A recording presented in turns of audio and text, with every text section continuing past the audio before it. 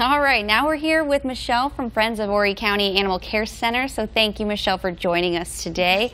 Who do we have here? This is Martini, Martini. How old is Martini? nine and a half weeks. Nine and a half weeks. And is she spayed or Not yet. Not yet, but, but she will be before she's adopted out. Okay. Um, and she will have will be microchipped. Okay, she'll be microchipped and spayed. And uh, how much does uh, it costs to actually adopt Martini? Martini is seventy five dollars. Okay. And I have one Murex, my little wife. Uh-huh, She has Murex. a hernia, Oh. but and she is ninety because of the hernia. We Okay. surgery. Of course, right.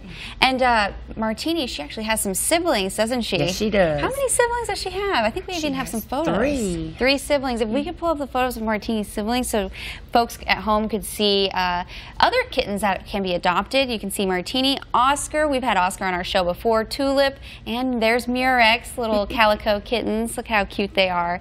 Um, also, wanted to mention there is an event going on. You said November 28th? November twenty eighth. Okay. Um, at PetScent. PetSense. PetSense. It's um another adoption. Okay. and to raise donations. Perfect. You can always use donations and help, and also need foster Yes. parents, of course. for kittens, desperately. For kittens, okay, Mm-hmm. especially for kittens. Well, thank you so much, Michelle. And uh, folks at home, if you would like to adopt uh, Martini or any of her siblings, just go to Friends of the HCACC website, and you can also call them with the phone number on your screen.